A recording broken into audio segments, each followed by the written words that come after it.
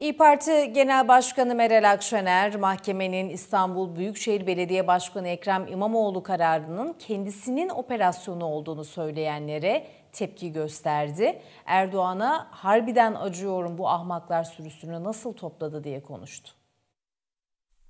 Sayın Melda Bayer'i rozeti takılmak üzere kürsüye davet ediyorum efendim.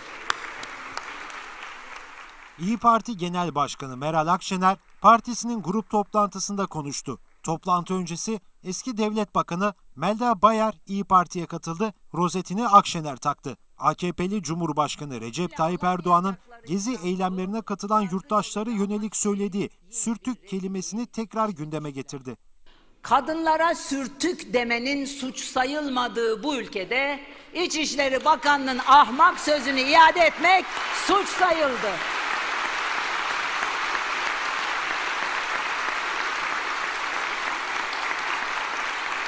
Belediye başkanına ahmak demek meşru ama ahmak sözünü iade etmek suç sayıldı.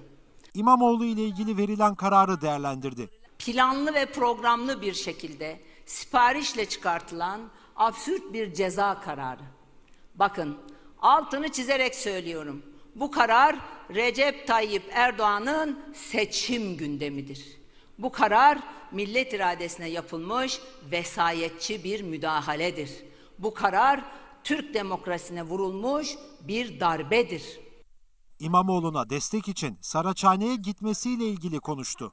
Bundan 20 sene önce yaşadığı haksızlık karşısında nasıl Sayın Erdoğan'ın yanına koştuysam bu sefer de Ekrem kardeşimin yanına koştum. Mahkemenin İmamoğlu kararının kendisinin operasyonu olduğunu söyleyenlere tepki gösterdi. Sayın Erdoğan'a harbiden çok acıdım. Bu kadar ahmaklar sürüsünü yanına topladı?